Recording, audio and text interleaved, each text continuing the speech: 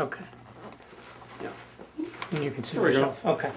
Thank you, Kermit, for uh, spending a few minutes with us. Oh, it's no problem. How do you uh, like your stay so far? I, it's it's great. It, it's good to be in a, a town that's your own name. It's easy to remember where you are.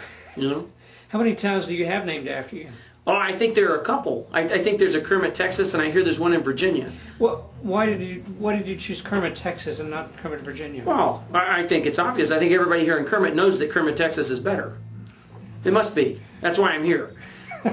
I don't know. It just, it, you know, I, I think it's a, a smaller town, and I really like small towns.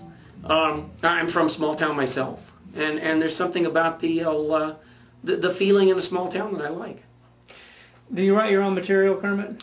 Uh, no, well, sometimes I do. Sometimes I do, and sometimes I have somebody who writes it for me. We have a, a great guy named Jim Lewis who writes a lot of stuff that I say, and uh, you know. But but you have to have writers who understand you, you know, who know who, who you are. Right. Otherwise, you you end up saying things that sound like somebody else. Um, 50 stops uh, you're going to be making on, on your on your tour. That's it's true. going to be a grueling uh, thought. The, you know, it, it could be. It could be grueling, and there's nothing worse than being a frog and being grueled. Um, it, it's disgusting. Grueling is a good word for you. You It said. I like grueling, but I don't want to be grueled. Um, what are some of the, the, the stops you have coming up that you're looking forward to?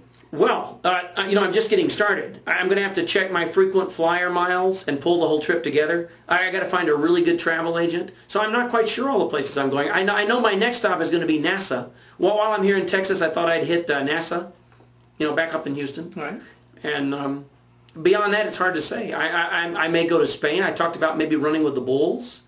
Um, talked about maybe the Great Wall of China. But, uh, but I don't know, you know. Some big stops and lots of little places too. But the whole point of this is for me to have the chance to um, just to thank all the people who've, who've been such faithful fans over the years. Tell me how it how it feels to to have a direct um, involvement in uh, a day like today. That to, to five thousand people who live here, it's it's the biggest thing they've ever seen. Well, that's um, it, it makes you feel very humble. You know, when you- when you show up in a small town and, and you're treated so nicely, it's um, it doesn't happen every day. You know, I mean, it's a great group of people, and they're and they're really just sort of the, the salt of the earth. They're they're normal people. They're they're here in Texas, and they go and do their the things they do every day. And, and a guy like me comes in, and they just treat me so nicely. You know, and and I think that that's